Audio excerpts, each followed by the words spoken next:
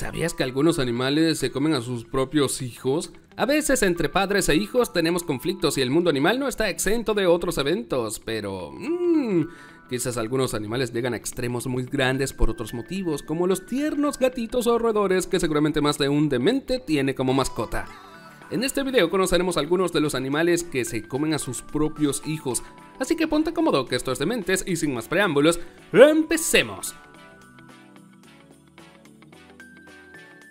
Aunque vemos a los osos polares como animales hermosos y muy apegados a sus crías, los osos polares hacen lo que sea para sobrevivir.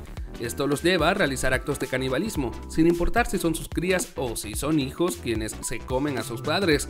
Siempre irán contra el más débil de la manada, estos suelen ser las pequeñas crías.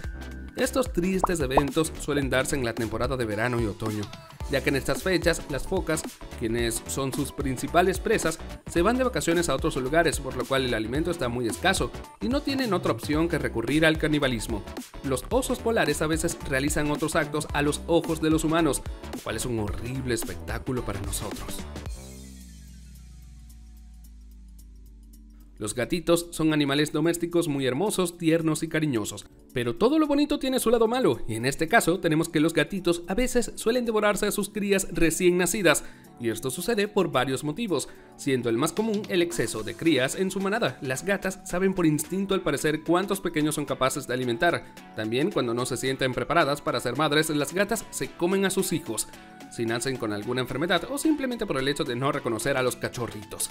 Los gatos son realmente impresionantes en estos casos. Los motivos por los que acaban con las vidas de sus hijos y se los comen son sorprendentes, incluso más sorprendentes que el instinto de supervivencia por el que los osos lo hacen. Solemos ver a los delfines como animales hermosos. Se suele decir que los delfines son los mejores amigos del hombre bajo el agua, pero la verdad es que los delfines tienen la costumbre bastante oscura de alimentarse de crías, pero es más oscuro de lo que piensas, porque los delfines no se comen sus propias crías, se comen las crías de otros delfines en una especie de competencia por el dominio de territorio y también por supervivencia. La verdad es que luego de leer esta información que tuve que corroborar de varias fuentes, cambié un poco la forma de ver a estos animales acuáticos. Siempre he sabido que todo tiene su lado oscuro y malvado en el mundo, pero a veces la realidad supera lo que uno se imagina. Jamás pensé que los delfines harían este tipo de cosas solo por dominar territorio o para mantenerse con vida. Desde pequeños nos enseñan que los gatos cazan a los roedores, pero irónicamente ambas especies comparten un comportamiento similar y ese es el de comerse a sus crías. Incluso comparten los motivos por los cuales lo hacen. Los roedores suelen comerse a sus crías cuando hay más de 7 roedores nacidos en la camada. Esto lo hacen para asegurar la supervivencia de la mayor cantidad de roedores. También suelen comer a los que ellos consideren que nacieron con alguna enfermedad o cualquier defecto físico que le pueda dificultar la vida. Esto suena a que los roedores se comen a sus hijos por misericordia, aunque simplemente lo hacen por el beneficio propio o de su camada.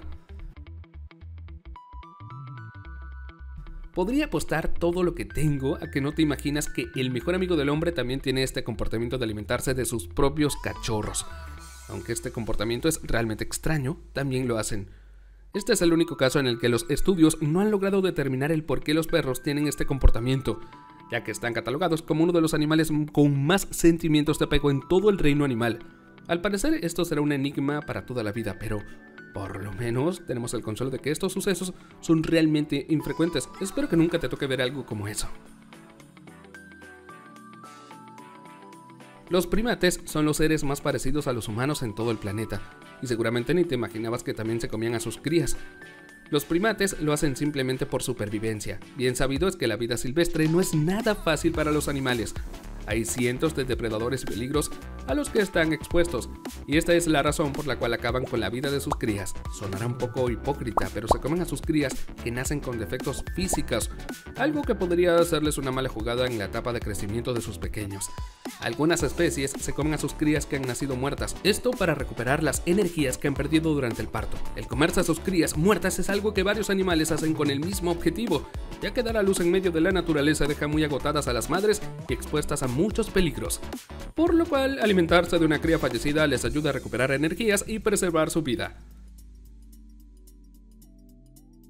Los humanos tenemos mucho respeto por estos reptiles, son extremadamente territoriales, peligrosos y rápidos.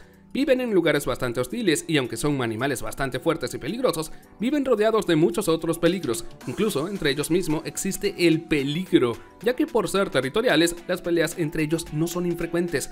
Los lagartos suelen comerse los huevos de sus crías cuando ven que están en peligro, incluso por sus propios parientes. Los lagartos prefieren devorar sus propias crías antes de que cualquier otra especie o sus propios parientes se alimenten con ellos. Una forma animal de pensar bastante extraña, pero que me impresionó bastante para serte sincero.